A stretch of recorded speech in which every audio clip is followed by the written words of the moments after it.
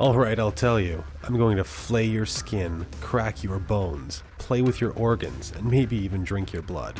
I'll be doing whatever I damn well please. You will beg for death, and you will get it. Once I've had my fill of you. But until that time comes, you will be living on your knees.